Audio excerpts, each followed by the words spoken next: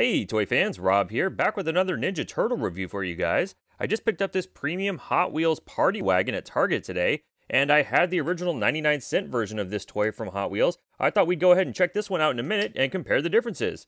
The packaging does feature the classic 87 turtles on the front.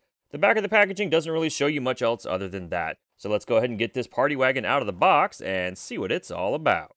Out of the packaging, this premium party wagon does have some nice features. The laser cannons on top do actually articulate up and down, and there is a gunner seat that can fold out from the side.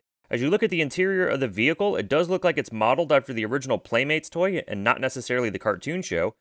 The budget version doesn't have all of that. Comparing the party wagon to a couple of other famous vans I have in my collection, and I do suddenly wish that this Punisher van also had a sliding door on the side. And here's a quick comparison with some other premium Hot Wheels I have in my collection.